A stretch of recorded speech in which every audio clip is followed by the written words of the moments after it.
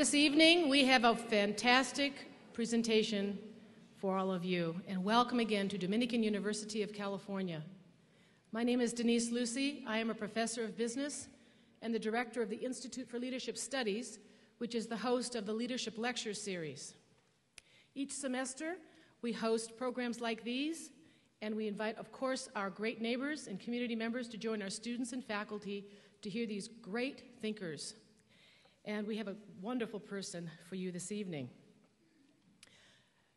Let me just say a couple of things about the Institute. We are a leadership development center, and our goal is to, is to help people become better leaders. We seek to facilitate positive social, individual, and organizational change. And our speaker tonight is a perfect match for that mission. Tonight, our speaker, she is a political activist, an honorary co chair of the Democratic Socialists of America. She's the author of nearly 20 books and numerous essays, and once was a guest columnist for the New York Times. She studied physics at Reed College in Portland and taught writing at Cal Berkeley. She is a fighter for social change, an advocate, uh, excuse me, an advocate for independent thinking, and a breast cancer survivor. Her latest book, Bright Sided How the Relentless Promotion of Positive Thinking Has Undermined America, once again proves how bold and fearless she is and how creative and courageous she can be. She is someone with a unique perspective and someone we should all listen and look up to. She is a humanist, and we're honored to have her here with us tonight. And she wanted me to mention her moment of glory. She was on the Daily Show with Jon Stewart just a couple weeks ago, so we want to congratulate her on that.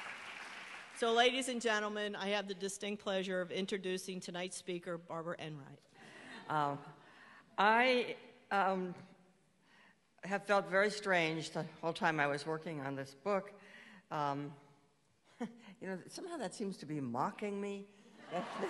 yeah, I don't know. Um, you know, and I'd have to explain to people, well, yes, I'm, I'm, I'm working on a book that attacks positive thinking. And I know that sounds so twisted and mean, you know, like I was going to come out against whole grains and world peace and things like that. So I have to um, defend myself a little bit by uh, explaining I am not against having a nice day. Um, or smiling at strangers or partying. In fact, um, one of my most recent books is a historical book called um, Dancing in the Streets A History of Collective Joy. So you can't call me a sourpuss. I wrote the book on joy. and I just want to get that clear. Uh, in this book, Bright Sided, is going after the, the specifically American ideology of positive, positive thinking, which is so prevalent we barely even notice it anymore.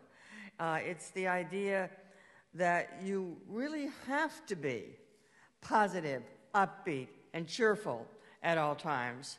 And if you are not positive, upbeat, and cheerful, then you better work on yourself till you get really positive, upbeat, and cheerful.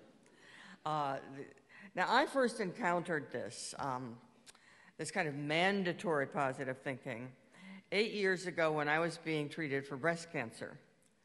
Uh, the diagnosis had been a complete uh, shock. Not only did I have no known risk factors, I thought you had to have breast, have breast cancer, but apparently not. And um, my my first thought, you know, being being a, uh, a, feminist involved in the women's health movement for, for many years, was to reach out to other women for support uh, and information. I, and I know there are men who get breast cancer too, but you know, primarily it is a female disease. And so I thought, well, okay, I will reconnect with, you know, I'll connect with people who are going through this too and get the kind of moral support I need. That is not what I found, though, as I waded out into the websites and the books and the things like that that were available to me. First thing I found, um, and this sounds really treasonous to say this on, in Breast Cancer Awareness Month, but pink ribbons everywhere uh, and there was a moment when I was waiting for the diagnosis. I was in the radiologist's office and, and in the waiting room. And I came across in, the, in a local newspaper an ad for a pink breast cancer teddy bear. And then I had this like huge existential revelation. Uh, I realized I am not afraid of dying. I am terrified of dying with a pink teddy bear tucked under my arm. I mean, it just seemed to trivialize the whole thing so much. A, there is a lot, and I'm going to mention another case of, of real infantilization that cancer patients, uh, probably especially breast cancer patients, encounter. For example, there was a, um, there is a foundation in New York City that a few years ago anyway was giving out tote bags to women undergoing treatment. And I managed to get hold of one of these tote bags, and it contained, oh, some cheap rhinestone jewelry and some cologne and all kinds of moisturizers and little things like that, and a box of crayons. So I called the foundation and I said, It's really nice, you know, that you're giving people this tote bag and all these nice little presents, but what's with the crayons? And she answered, Well, that's in case you have some thoughts or feelings you'd like to jot down. And I said, I'm a writer. We don't use crayons. You know, it was, it was, I can't explain how insulting this seemed to me. Men are treated with a little more dignity, I think, at least when they're diagnosed with prostate cancer. They're not given gifts of matchbooks, uh, matchbox cars. But the other thing I found, in addition to this uh, pink ribbon stuff, um, and by the way, in case you think I am completely around the bend for being critical of the pink ribbons, you know you have a fine organization in the Bay Area called Breast Cancer Action. And I hope there's somebody here from Breast Cancer Action. Barbara. Uh, all right, well, Bar- that's Barbara Brenner, the uh, Executive Director of Breast Cancer Action. And I'm going to call on you when we get to the Q&A to talk about what you're doing to fight the pink. Um, and see, I'm not the only Grinch out here, all right?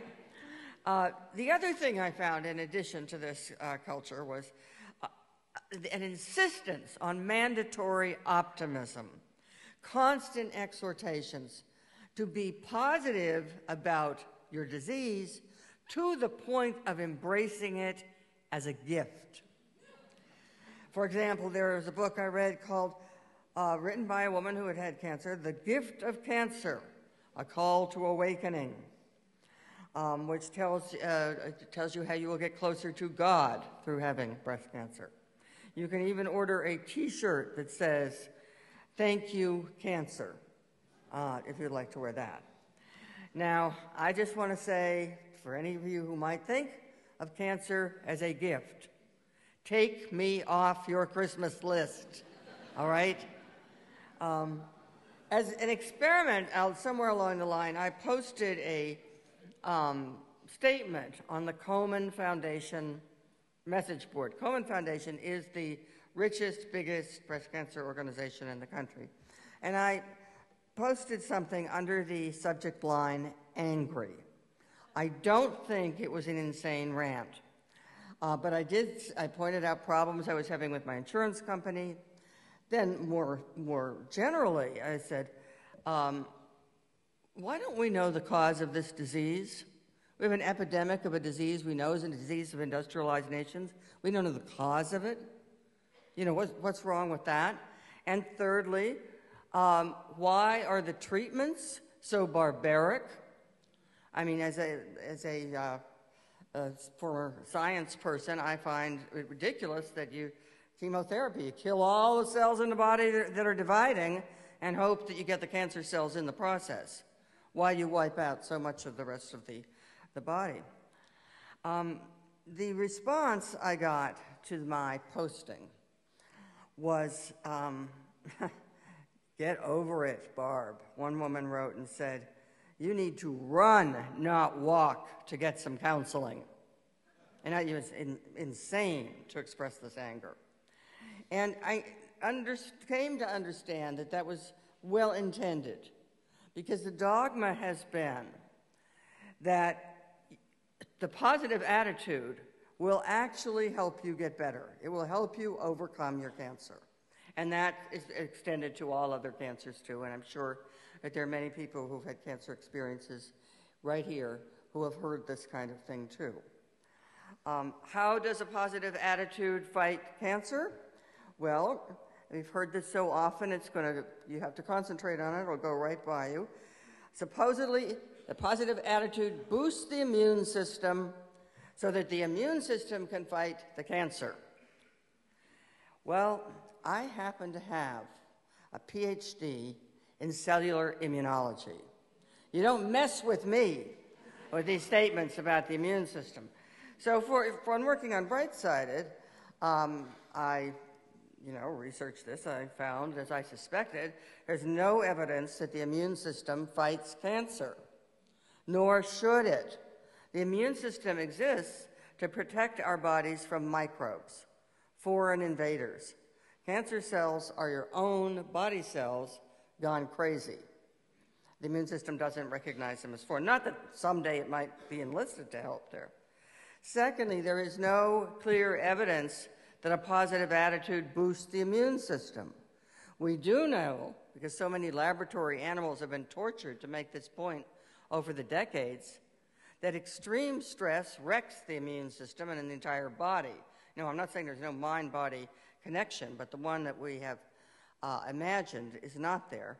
Um, more directly to the point, there are new studies out as of just uh, the last two years that are meta studies that look at all the other studies uh, looking at, at, at uh, attitude and cancer survival rates, and they have found that there is no evidence for any uh, you know, extension of longevity or a greater survival rate um, for positive, quote, positive people as defined in these studies, whether it's breast cancer, lung cancer, neck cancer, throat cancer, it's just not there. This has been a myth. But there I was in 2001 being told essentially that if I didn't recover, it was going to be my own fault because I wasn't positive enough. Now, that was my first encounter with the mandatory positive thinking of our culture. I sort of I put that on my mind for a few years because it just seemed so bizarre, and I didn't maybe want to keep thinking about the breast cancer experience.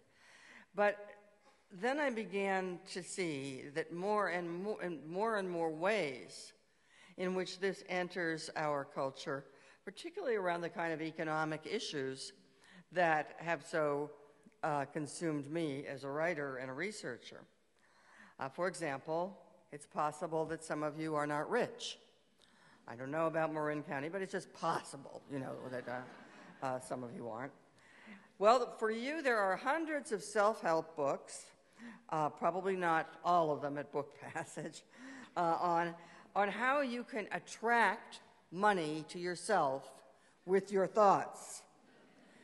Uh, you know, don't try saying, well, I, my wages are low, that's my problem, or I'm unemployed, or my medical bills are destroying my life.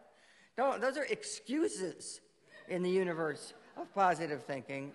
It's really you, up to you, to attract the wealth to yourself. In fact, in the last uh, decade and a half, a whole industry grew up in this country to promote the kind of positive thinking that would bring you success in the world. Uh, usually it's called the motivation industry. You can buy the books, you can buy the CDs, the DVDs, you could uh, pay for a, to go away on a weekend uh, with some heavy hitting motivational speaker like James Arthur Ray. You probably know about that. You know what happened, right? This was in a couple of weeks ago, and he had a bunch of people uh, there to master his principles of harmonic wealth, to you know bring that those wealth vibrations. You get yourself into harmony with the wealth vibrations in the world, and um, tragically, uh, three people died in the sweat lodge part of the weekend experience uh, that they each had that paid about $9,600 for. Or if you don't have the money for one of those weekend immersion experiences or something, you might just want to buy some products or tchotchkes There's a company called Successories, and it, that's what all it makes is little things you can put on your desk, little bean bags that will remind you to be positive, and inspirational posters. We've all seen those inspirational posters. They have a beautiful scene, and you know at the bottom something about life is a journey, etc. Um, uh, there's also um, uh, I don't know why this irritates so, me so much. The, the, the line of products now, uh, the Life is Good line of products. Seen them?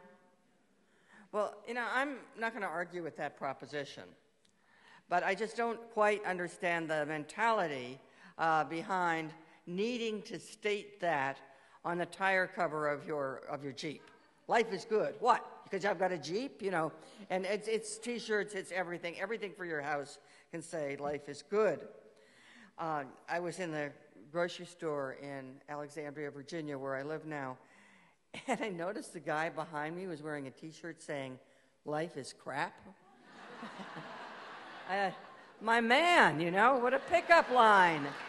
It's amazing. Um, now, one of the big problems is this positive attitude is not always voluntary at all. Those who do not reach out to embrace positive thinking may uh, find it imposed upon them one way or another. The biggest source of this is the American corporate workplace. Uh, they, that's where you will find the motivational speakers brought in. You can listen to them for free rather than paying to go away with them. You know, the, the, work, the company may give, you, may give out books like Who Moved My Cheese.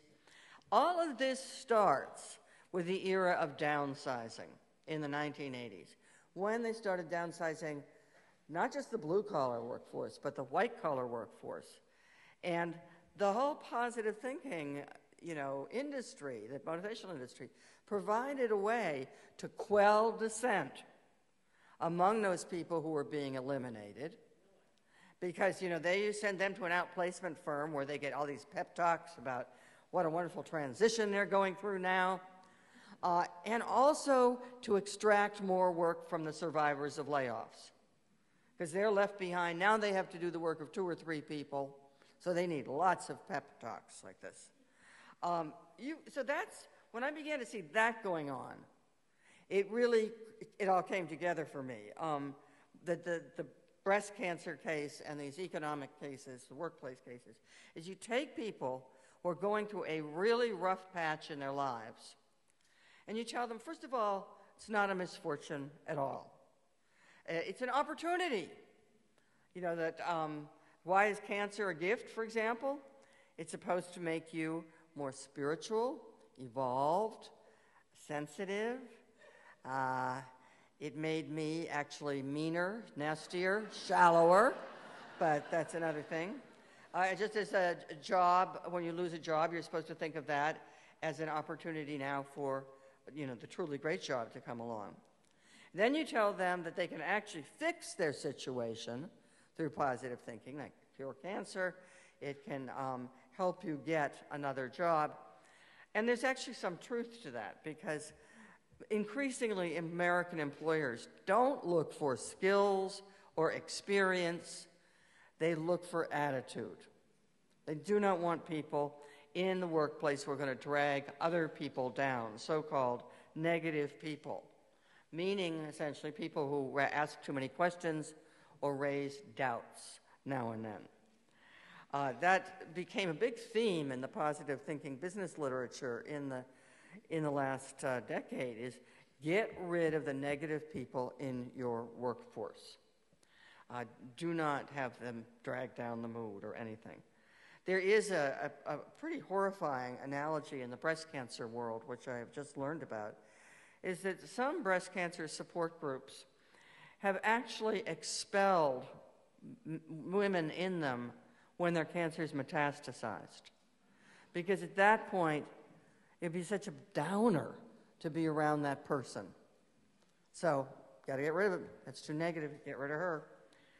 Um, now, that's the you know ways in which this is mandatory, but there's also the carrot. You know, the big incentive to positive thinking is that you can control the universe with your mind. You can have anything you want by focusing your mind on it and using your thought vibrations. Uh, you can ask about this if you want, but it's all quantum physics. and send out your thought vibrations to bring the money back to you. Um, in fact, they, uh, several of these uh, big shot uh, motivational gurus refer to the universe as a big mail order department. It's waiting for your orders. Send in your order in a clear way, and you'll get your stuff back in a timely fashion. This was the premise of the 2006 book, The Secret, which was a runaway bestseller. Did anybody read it? Yeah, you did. You're just embarrassed. I know. And, you know, and she, um, she tells all kinds of stories of people attracting things through sheer powers of mind. My favorite is the story of a woman who wants to attract a man, but decides not to do it with the, you know, cosmetic uh, route or anything like that. She clears out half of her closet in her bedroom, and she clears out half of her, her garage, and then she says, Thank you, universe, for sending this guy. And sure enough, some poor sucker got attracted. It's by that garage and that, that closet. I think I know him. I think I lived with him once. Um, and, um, you know, that, but that's the idea. Just assume it's going to happen. Once you start attracting the money to yourself, you might as well start spending it.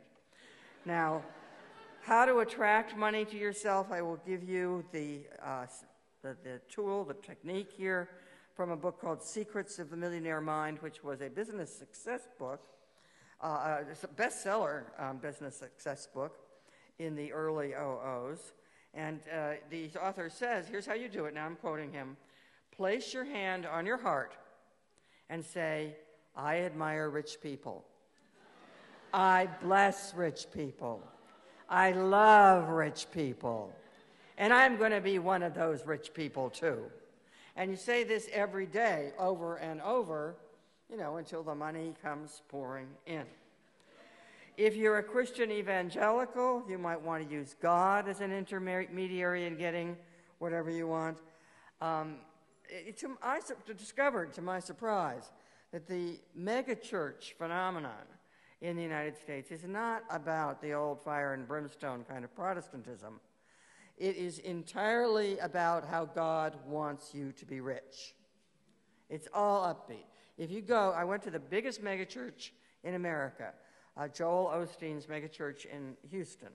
It, it, can, it can hold 40,000 people on a Sunday. You will not see a cross anywhere in that church or in that sanctuary, except in the gift shop, actually.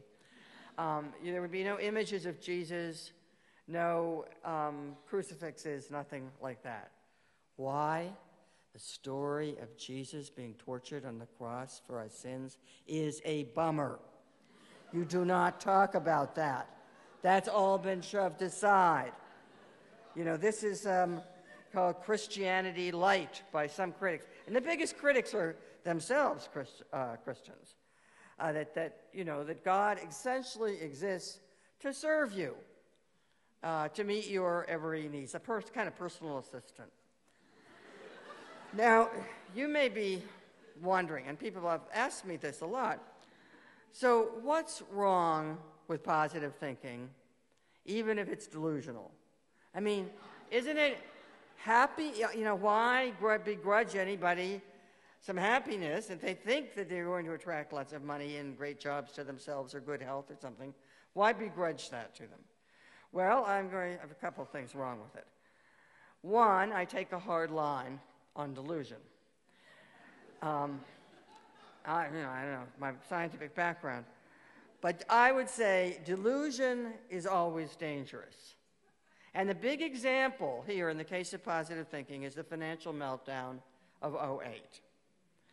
Uh, many things fed into that. You know, that was not just one cause greed and exotic financial instruments and all sorts of things. But the American habit of positive thinking was so much a part of that. I mean, you can count like on one hand the economists who were willing to say in 2005 that there was something scary going on with the levels of debt individuals and families were accumulating and the extreme inequality between the rich and the poor that was, has been growing up in America.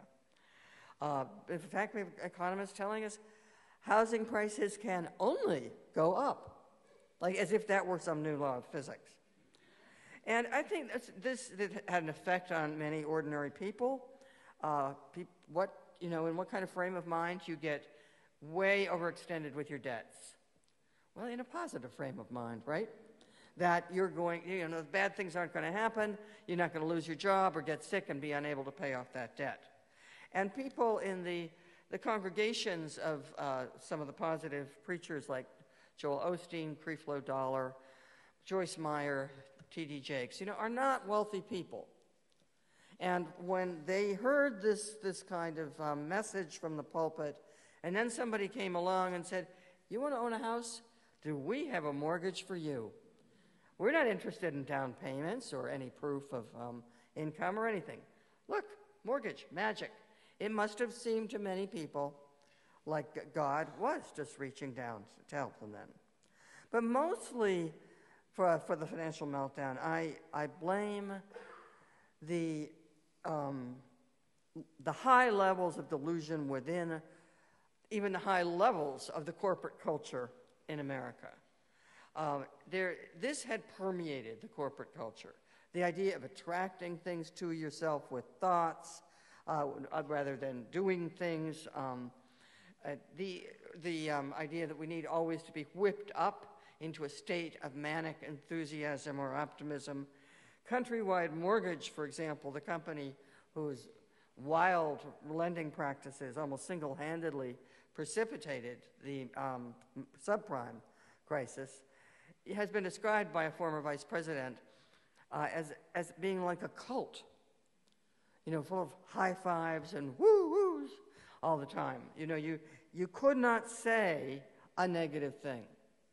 He was told uh, not, you know, not to keep bringing up questions about possible defaults on the subprime uh, mortgages.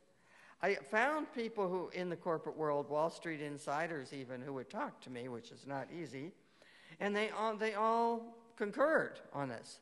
They said, if you voiced negativity within the finance industry in the middle of this decade, you were out.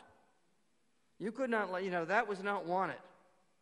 And the, my favorite example is the man who ran the real estate division of Lehman Brothers, who in 2006 went to his CEO and said it looked to him like this was a bubble, the housing bubble, and that they better adjust their business plan accordingly. So the CEO fired him. You don't want to hear that kind of thing. Of course, Lehman Brothers doesn't exist anymore. Um, and again and again, this was the rule. You do not want to be the bearer of bad news. So you get a corporate culture that exists in its own happy bubble of ignorance because anybody who might be raising doubts or questions has been purged. The, I have another problem with uh, the positive thinking ideology. I think it's not only delusionary and therefore foolish, but it's cruel. It's unkind. Finally, some people in the cancer care industry are beginning to speak out, for example, against the expectation that cancer patients always have a smiley face, you know, that, uh, that be, be completely positive about it and uh, saying things like, this is, adds an additional burden. It's bad enough to be really ill or terminally ill or whatever, but to then lay on top of that person the idea that they've got a second problem in their heads that they've got to work on if they want to survive. You know, some oncology nurses are, you know, rebelling against this now. You can see the, the, the huge indifference um, to um, I, you know, I, I, see it as a lack of compassion and uh, entirely. But in a comment that the author of The Secret made about the tsunami of 2006, and you know, why, why could that, how could that happen? How could whatever it was 200,000 people just be, you know, drowned like that in a tsunami. How could that happen? Her explanation, and this is um, more or less paraphrasing, is that they had to be sending thoughts out into the universe that were vibrating on the same frequency as a tsunami. In other words, they attracted that tsunami to themselves with these tsunami like thoughts. Um, and the same, you know, it's, it's cruel to victims of economic hard times. It's not your attitude that meant you, you were laid off. Uh, you're, it, you're not poor because you're resisting wealth and have to keep, you know, repeating those affirmations. I, I get a little frustrated when I meet or read about uh, people laid off in this recession who will tell about, you know, the hardships they're going through now and then say, it's hard, but I try to stay positive. And I want to shake them and say, you don't have to stay positive. You're allowed to be angry. What's happening to you is terrible. You know, don't, don't try to pretend otherwise. Now, the alternative to positive thinking is not negative thinking. That can be another delusion. Uh, if you, I mean, I know people like this. Um, I could mention past husbands and all kinds of people here, but, you know, anything you know, who uh, uh, predict that anything they do is going to fail or anything they undertake isn't going to be any fun, and you know, and that that is delusional too, just like predicting that everything will go your way at all times. Uh, the trick, the radical alternative I would like to propose, is not, you know, either positive or negative thinking, but realism. I know that's radical. Just trying to figure out what is happening in the world as far as we can, and that's not easy. Try to understand what are the forces that have reduced our, you know, reduced so many people to poverty in the last couple of years and so on. What, what, uh, what's causing global warming, et cetera, et cetera, and what do we do about it? Which usually means, you know, building social movements for change or getting together in some way not just sitting at home and reciting affirmations. Uh, I've been asked by friends, uh, good people, progressive people, well, but how, how are you going to have a movement for change if you don't get people all motivated and pumped up with optimism? Doesn't all this positive thinking, isn't that what's required to have, um, to make change historically? And I would say, no. There is something else that drives historical change, that drives social movements, that is not positive thinking. And that is determination. Determination with some hard work and courage thrown into it. And I'll give you an example from American history. Um, I'm not a real founding fathers maven, but it does impress me that when they signed the Declaration of Independence, they had no reason to believe they could win a war against England. And they had every reason to believe they would be beaten. Nobody was saying, hey, let's all get pumped up, you know, let's send independence vibrations into the universe and it'll come to us. No. They also knew individually that by signing that declaration, each and every one of them was making himself liable to the charge of treason to be punished by hanging. And they did it anyway. You know, that is another spirit where you say, yeah, this is hard. Yes, our chances are small. But you know what? We're going to do it or we're going to die trying. Thank you.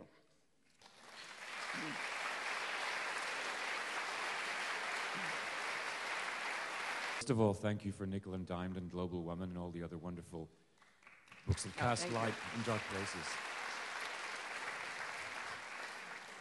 I'm a high school teacher and I'm daring to show my students network with Peter Finch from the mid 70s. And so much of what you've talked about tonight is echoed in that, as far back as that. And then, in speaking with the students, we start talking about Horatio Alger and this story goes a long way back. I'm wondering if you see the recent development of the positive thinking industry as being something that's burgeoned because of its um, becoming an industry.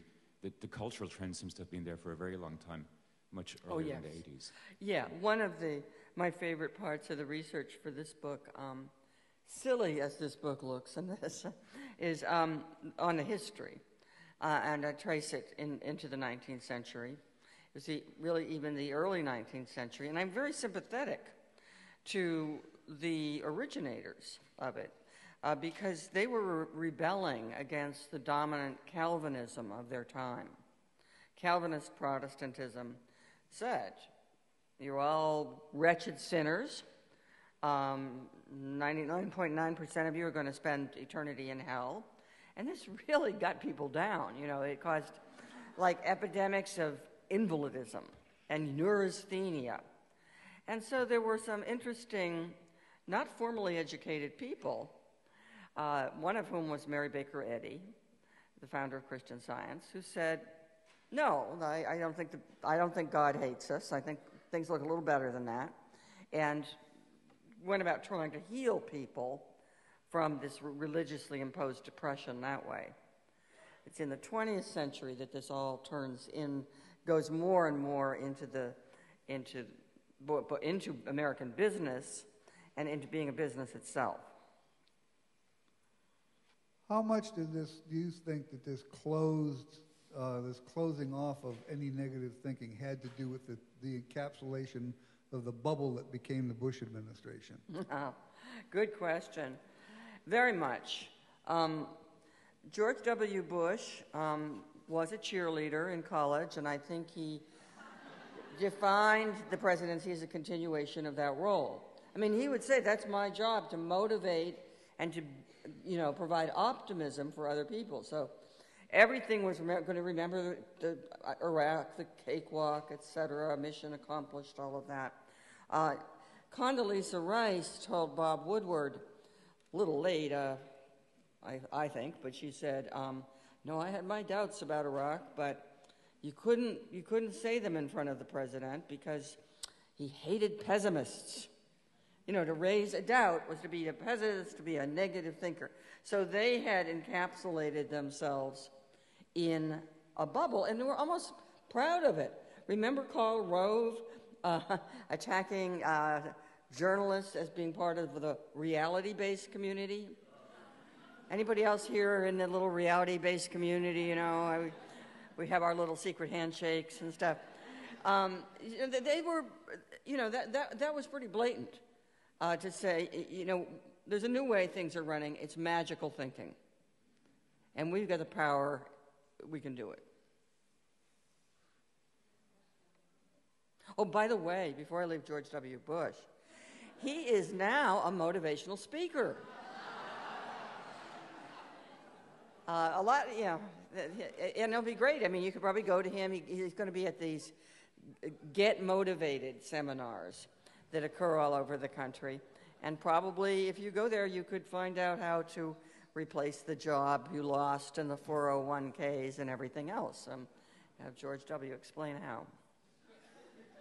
What do you think of the Dalai Lama and the art of happiness, and particularly the scientists who are kind of in his shadow, who are trying to establish what is essentially positive thinking as uh, good for your mind and your body? I'm all the way back Where here. are you? Oh, Oh, here I am. oh, there you are. Okay. What do I think of the scientist? Deep, Well, both deep- the Dalai Lama and the Art of Happiness, because it strikes me it's very much in the uh, vein of the power of positive thinking. And there are a whole lot of scientists whose mission, who admire the Dalai Lama, and their mission is to prove neurophysiologically and psychologically that he's right. Yes. Um, I have probably one of the most controversial chapters of this book is a very critical look at, quote, positive psychology, which is the academic wing of all this.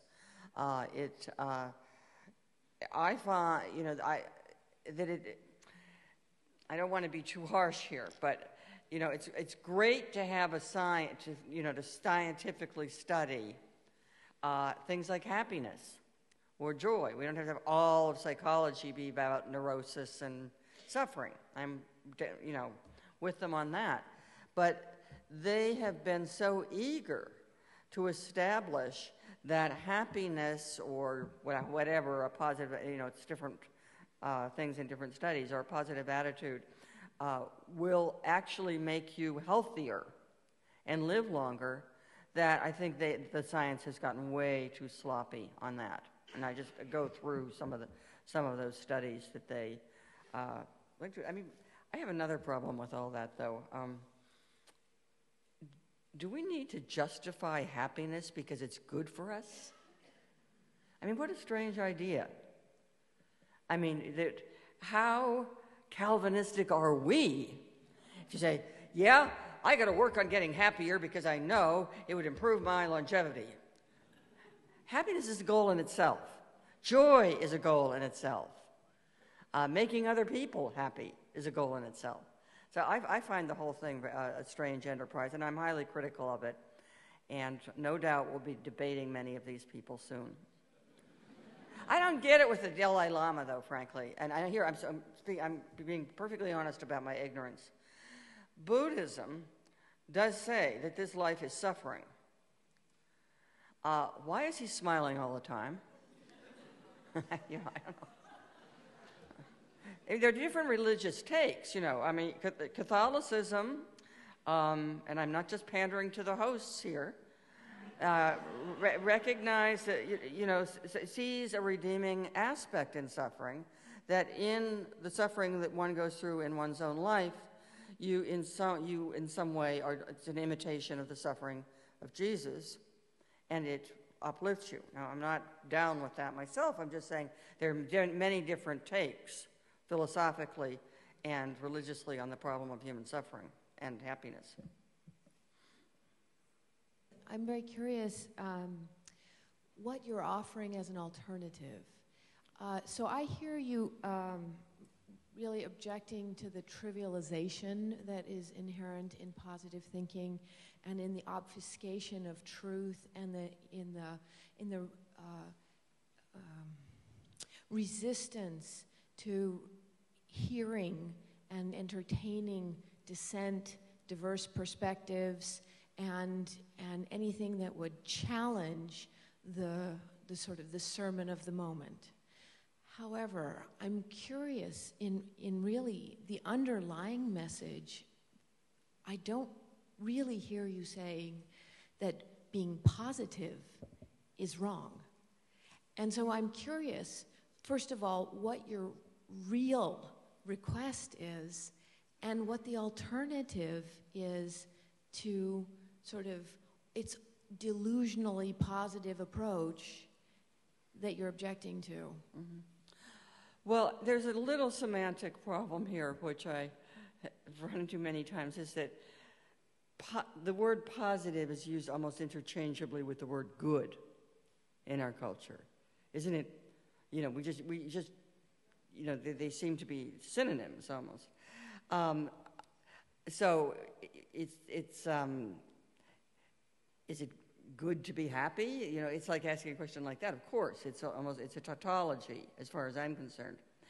But I am so I am trying to identify an ideology that has taken over American institutions and that has these two big problems. One, it's delusional and dangerous, and two, it is cruel and it blames the victim and it sweeps problems under the, you know, out of sight but it's an ideology here. You can smile.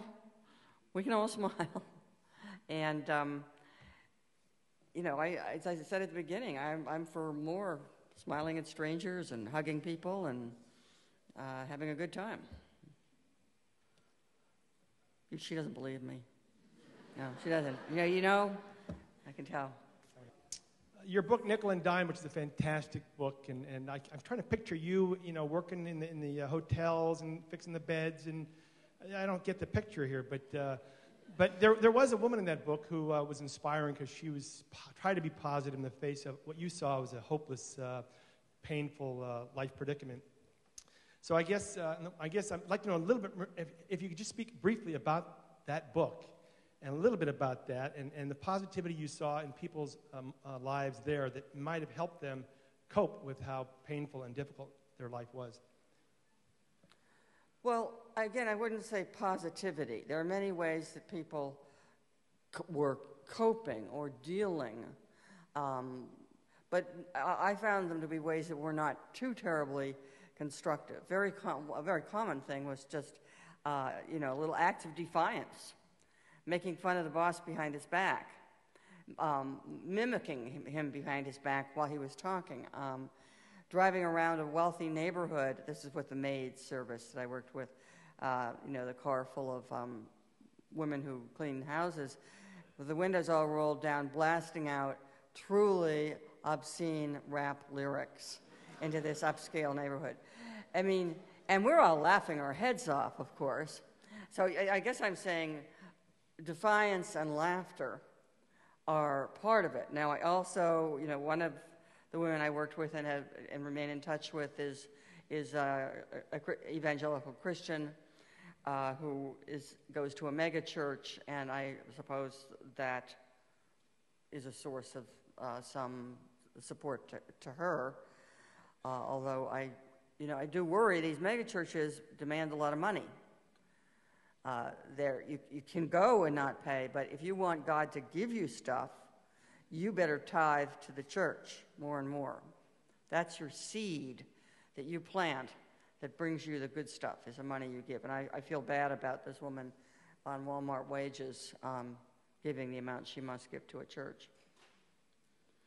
I wanted at some point if um, Barbara Brenner would say something about uh, a different look at cancer and um, because when I was when I was going through this, um, and, and, maybe this makes will make more real some of the things I've been saying that uh, I really felt very very isolated until I discovered breast cancer action.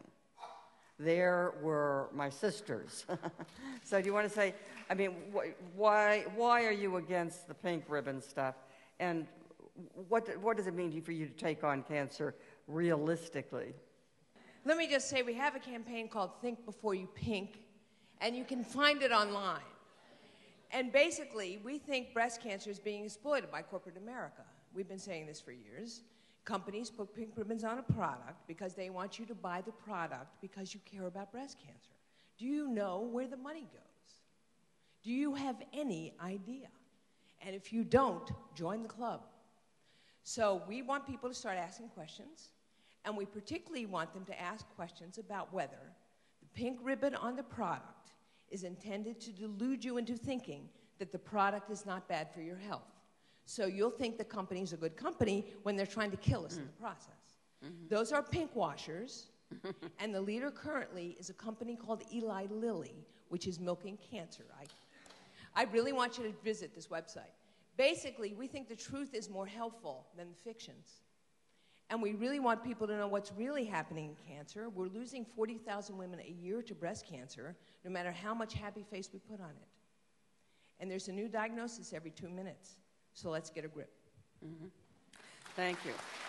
Thank you. Uh, you spoke about uh, the different institutions in, in the United States, and you focused on our corporate institutions as well as our religious institutions. I'm curious, what did you find in our school systems and our prison systems? Is there a positive movement in San Quentin and, um, or in our public schools? And how is that impacting um, these What an interesting question.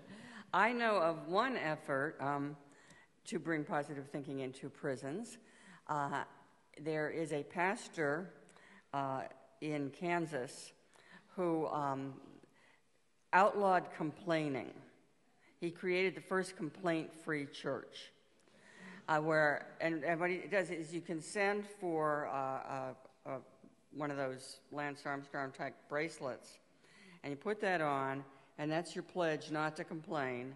And every time you do break it and complain, you have to change to the other wrist and go back and forth. Uh, some people like to sort of hurt themselves, you know, snap themselves with a bracelet whenever they have a negative thought, even. But um, this pastor um, has ambitions that um, this should be a big thing in prisons. That you know, just stop the you know complaint. Just you know, look at the really bright side of your situation there in jail. And the, in schools, um, there's an active effort on the part of the positive psychologists, the academic types, to bring optimism training into schools, into the public schools. They've done quite a bit of that, strangely, in England. Uh, I think more so than here.